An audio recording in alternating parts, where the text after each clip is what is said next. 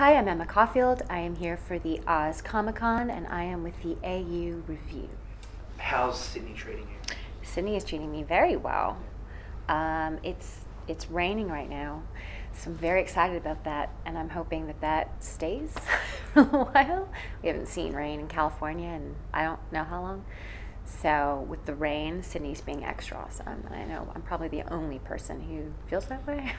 so how does it feel, like 11 years later, still being very highly celebrated for your role in Buffy? Uh, it feels great. It's um, it's it used to surprise me, but it, it doesn't surprise me anymore. I just it keeps growing and growing, and um, I'm I become more aware every day of just the immense popularity of the show, with from ten, sometimes even nine, um, you know, all the way up to, you know, whatever. I I don't know. Literally, there's just the entire age range and. Uh, gender and walks of life. I mean, it's it's ever it's very universal, and and that's that's lovely. With no idea that's what it was going to be when we were shooting it. Um, I didn't, at least. I had no idea, you know. So it's, it's great. Yeah, it, it feels like it's kind of reached that status where it's kind of like got that iconic mm-hmm. status like Star Trek. Yeah. It feels like that. It definitely starting to. Well, I don't know what it feels like to be on Star Trek. I know what like it's like to be a huge fan of Star Trek. I own all seven seasons of Next Generation on DVD. Thank you. I know uh, almost all the episodes by heart. Not actually, well, not like the dialogue, but that's so boring. Why am I telling you that? it's not interesting. The cult status of it, yes, yes, it is. Um, and then you know, to be in the same room or even the same conversation with William Shatner is very surreal, or Patrick Stewart. Like these are people that I personally am, am very um, in awe of, and so to, to be in even that same company is uh, it's wonderful. it's really nice. Like, what's it like, you know, um, linking back up with cast members? Uh, well, I see a lot of them in in life. Um, I haven't seen Nick in forever, so that was, you know, was like, hey, what's up? It's been like ten years, I think. It's been crazy. Um, that's always nice to reconnect with people.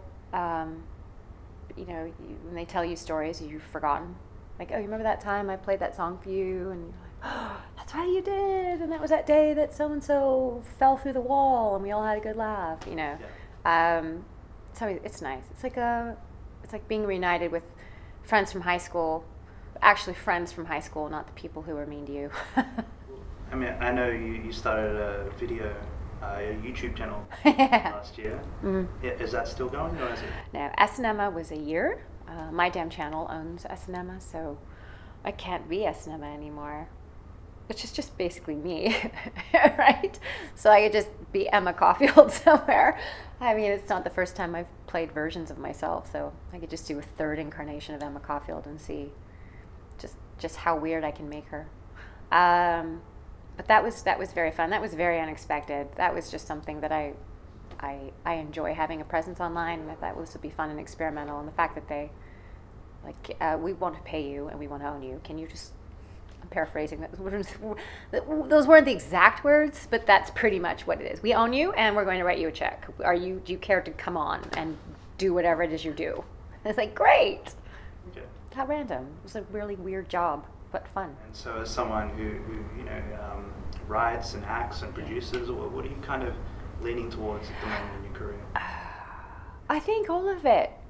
That sounds greedy, doesn't it? I, I enjoy writing quite a bit. I sometimes I've I've written under my name, um, but as of as of late, I don't write under my name at all.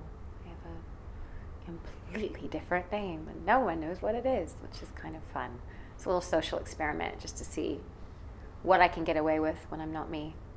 Um, and I like that. I also like the I, I like uh, having a really deep personal stake in the content and having having a voice in a way that you don't necessarily rarely get to do when you're um, speaking on behalf of someone else's vision.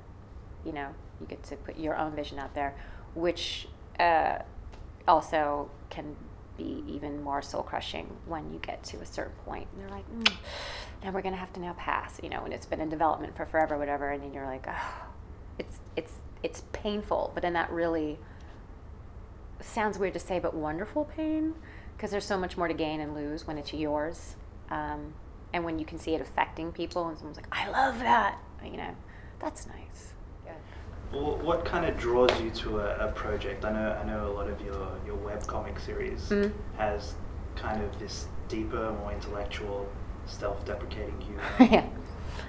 Is that is that what draws you to projects like that? Yes. Uh, I I like to. I my brain is always. It's just. It's constantly. It's just. It's just tick tick tick tick tick. You know and um, it's not actually loud like that. Otherwise, I'd probably be in, in a mental hospital somewhere. It's a little less annoying than the tick tick tick. Um, but yeah, I have a I have a lot that I want to say. I have a lot of opinions on things. Uh, I I'm I would say that I'm far more I think of uh, an an observer of behavior than actually being the behavior. Um, and that, that's it's just fascinating to me to to just take that part of myself and then put it down on paper. And and do it in a really you know, like well maybe I want it to be a person saying it or maybe it's a cat or maybe it's it's whatever it is. But I mean my point's going to get across. It might not seem obvious at first but I mean I think I think my subversive self is kind of front and center so, how do you kind of choose, choose the medium by which to get your message across? I know yeah, comics and whatever kind of comes up. I mean, the the comic, uh, both of them actually were were in in our minds, um, uh, like pilot pitches, and then we were advised to you know put them down in a comic form, and then that was online. But then IDW bought Contropussy, which was wonderful. I that was a completely unexpected bonus. Um, and it felt good. It felt very validating. Like, okay, you are like top three publishing houses, and you signed off on that weirdness. So that's cool. Hmm. Um, and that's pretty much it. It's kind of wherever the love is, whatever sort of, um, I don't know, venue is saying, we'll take your crazy. Yeah, come on, let's go. It's kind of where I guess I'm going to go.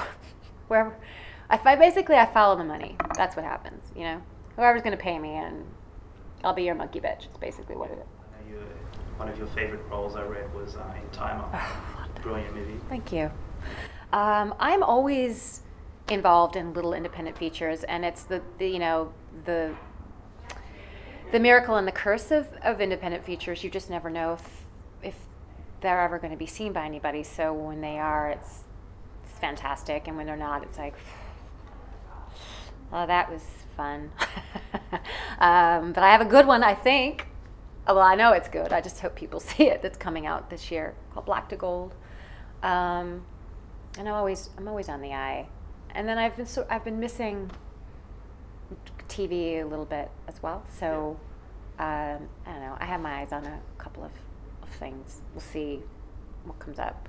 I like to try. I don't always succeed. I mean, sometimes you just end up doing jobs because you know, it's that thing called mortgage. like, oh, I have to pay for my house, so I guess I'm gonna have to be distress girl number five or whatever. Boring. Um, but then you get those really rare and incredible opportunities to do something really fun. So I don't know. I'll just keep planting seeds in various places and and see which ones sprout.